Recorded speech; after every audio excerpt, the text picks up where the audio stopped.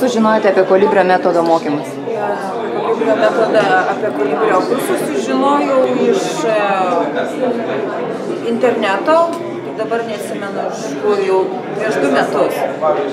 Nu, Kokiu rezultatu tikėjotės ateidama į mokymus?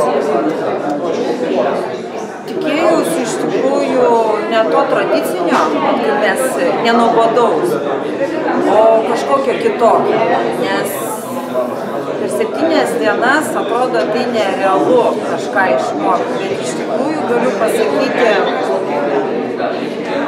tas nuobodus mokymasis pavirto žaidimu. Ir tos asociacijos, tas kūrimas ir iš tikrųjų praleidimas tų mokymosi žodžių, energijos pro save iš čia ir kad čia liktų. Tai yra iš tikrųjų didelė, didelė pažanga ir kažkokia naujovė. Tikrai to nesitikėjau, tiksliau sugrįžau į vaikystę su spalvingom gražom, gražiom knygutėmis ir nu tiesiog wow. wow. Ir ko realiai išmokote per mokymų metu? Realiai išmokau asocijuoti žodžio, naują žodį su kažkokia reikšmė.